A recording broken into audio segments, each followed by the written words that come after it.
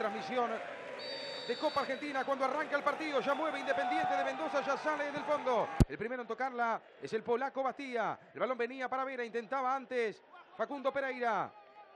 Terminaba cortando rápido. Matías Villarreal desde el fondo para correr Irañeta. Irañeta quiere meter presión, terminó cortando. Abajo y saliendo Emanuel Olivera. La pelota pertenece a Independiente de Mendoza. Espera Conti. El envío que viene para Bastía.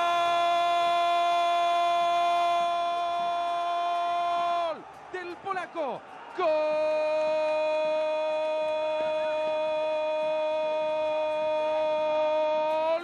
de Colón de Santa Fe, del Zabalero. Tras el córner de Pereira, apareció Bastía, sí, Adrián Bastía, que pone el partido 1 a 0. Colón, Colón, Colón le gana Independiente de Mendoza 1 a 0 con el gol de Bastía.